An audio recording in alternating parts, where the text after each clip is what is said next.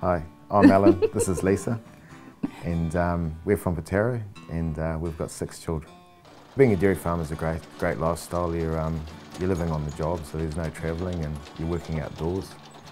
We met in Arapuni. I was the barmaid at the bowling club, and he used to come down there and try and woo me with his guitar. Yeah.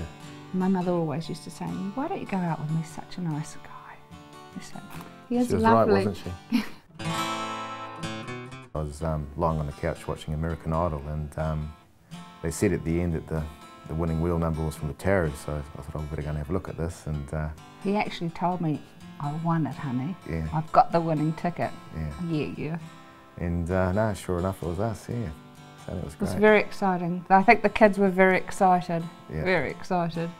Yeah. Allan's going to spin the wheel because he bought the ticket, Yeah. and um, the three kids are going to come with us. There was no way they weren't going to come. the So, three youngest, yeah. Yeah, little country kids going to the big city, going to Wellington, going on a plane. How long is it going to take to fly to Wellington?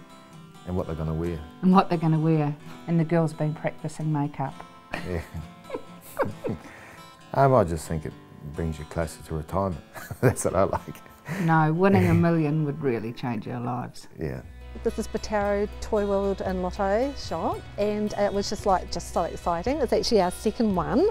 And it was for Allan and Leesa which are locals. So we're really proud of that. And um, we've had promotional tickets, we've had um, first divisions. And we've just the whole town has just been vibed. And um, everyone's been on a buzz. And I just hope they um, get the big huge million dollars and, and if not enjoy the lovely weekend and whatever they win. Congratulations!